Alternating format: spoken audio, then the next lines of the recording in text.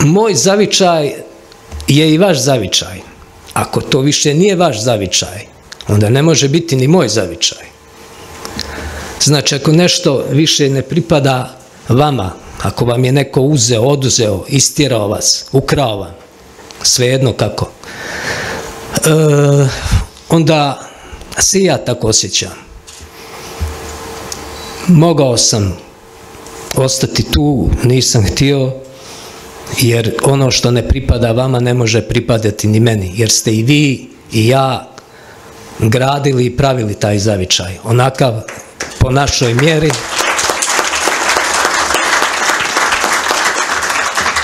Po našoj mjeri,